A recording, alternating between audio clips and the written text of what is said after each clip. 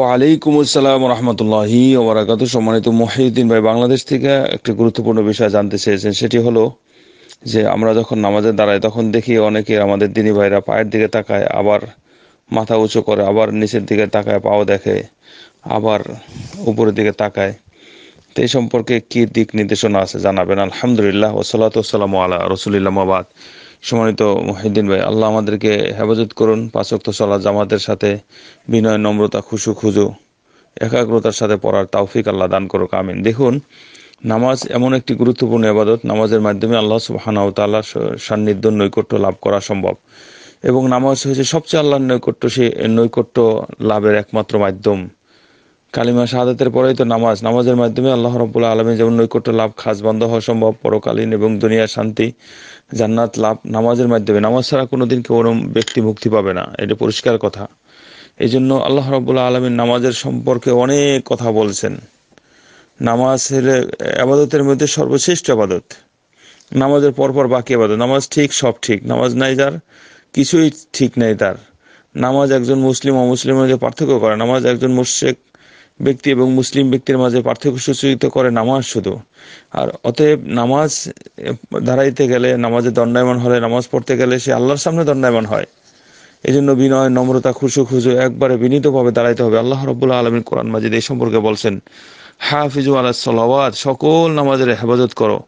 ও সলাতিল বুস্তা, বিশেষ করে মধ্যবর্তী নামাজ। যদিও এখানে আসরের নামাজ অনেকে প্রাধান্য ভাবতে বেশি দিয়েছেন। অকুমুল ইল্লাহি ক নীতিন তারপর আল্লাহ বলছেন, বিনীতভাবে আল্লাহর উদ্দেশ্যে দণ্ডায়মান হও। দেখেন, কনেতিনের ব্যাখ্যা একটা দুইটা না। একদম বিনীত ভাবে বিনয়, নম্রতা, খুশু, খুজু একদম দাঁড়াইতে হবে। কার সামনে দাঁড়াইছেন আপনি? আল্লাহ রব্বুল আলমিন, মহাবিশ্বের মালিকের সামনে দণ্ডায়মান হয়েছেন।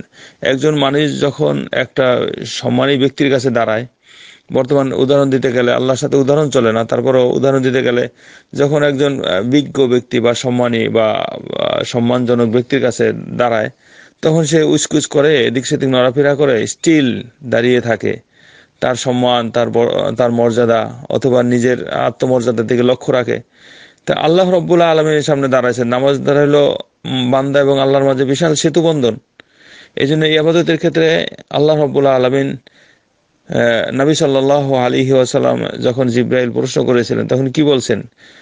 যে, আন্তা আবুদাল্লাহ কান্নাকা তারাহু, ফাইল্লাম তখন তারাহু ফাইন্না হইয়া রকা তুমি এমন ভাবে আল্লাহর আবাদত করো যেরকম তুমি আল্লাহকে দেখো। যদি তা না হয়, তাহলে মনে রাখবে আল্লাহ যেন তোমাকে দেখে। আর সেটাই হলো এহসান এহসান হইল সর্বোচ্চ পর্যায়ের মোরাকাবা, আল্লাহর মাঝে মান্দার মাঝে বিশাল একটা সেতু বন্ধন একটা বিশাল একটা সংরক্ষণ এটি। এটা কেউ জানে না। তাহাজুদ নামাজে যখন দাঁড়ায়, কেউ তো দেখে না, আল্লাহ সুবাহ তালা ছাড়া। যখন ঘরে নামাজ পড়ে, তখন কে দেখে? আল্লাহ ছাড়া কেউ দেখে না। এটা আল্লাহর সাথে বিশাল একটা সেতু বন্ধন, ভালোবাসা, বন্ধুত্ব। একজন আরেকজনের মাঝে এটা একটা গভীর আলাপ। তাই নামাজে দাঁড়াইলেই দাঁড়াইতে হবে কি?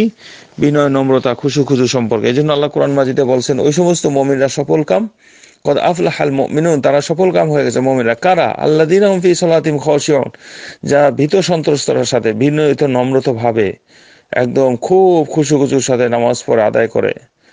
আর নামাজে এত হেলা খেলা এত হেলা চালা এত এই সেই ইত্যাদি, এগুলো তো নিষেধের অন্তর্ভুক্ত। এই জন্য মুনাফেকদের নামাজের কথা আল্লাহ উল্লেখ করে বলছেন ওই যা কম ইলা সলাতে কম কুসালা। যখন নামাজে দাঁড়ায় তখন খুব সুস্থি সহকারে দাঁড়ায়।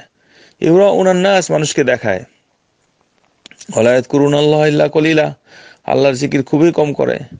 তাই সুতরাং মমিন ব্যক্তির এটা উচিত হওয়া উচিত নয় এই ধরনের কারও কর্মকাণ্ড করা।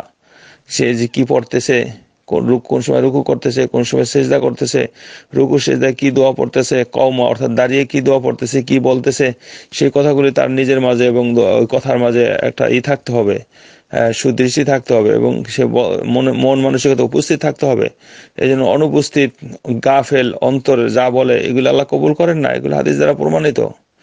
এগুলি তো অনেকের মাঝেই অনুপস্থিত বিষয়গুলো। এই বিষয়গুলো অনেকের মাঝে খুঁজে পাওয়া কঠিন।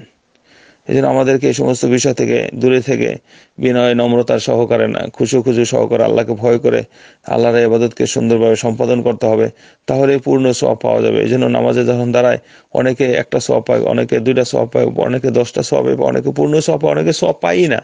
কিসের কারণে? এই- তো কারণগুলো, বিভিন্ন কারণের মধ্যে, এই- এইগুলি একটা কারণ।